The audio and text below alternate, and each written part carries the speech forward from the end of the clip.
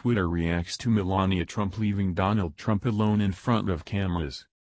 Donald and Melania Trump put on a united front when they left the White House for the final time ahead of Joe Biden's inauguration Wednesday, but things looked different when they arrived in Florida.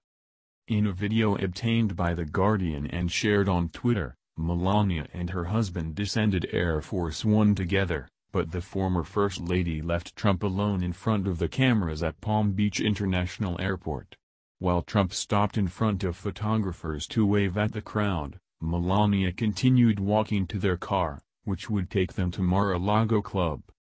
The video, which has been viewed over 5.3 million times on Twitter, received mixed responses from social media users, with one speculating that Melania is totally done.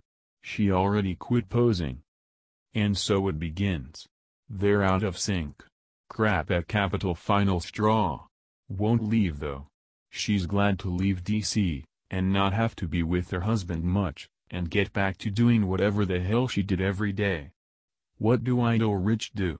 They watch regular folks like an ant farm, another Twitter user commented.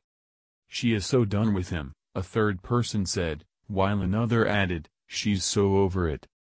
She's done. She doesn't have to pretend she cares anymore. Sandra Drayle added.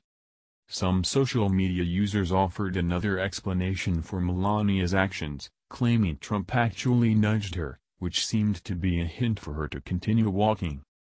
He pushes her away. Watch carefully, one commented. She didn't. He pushed her away, another wrote.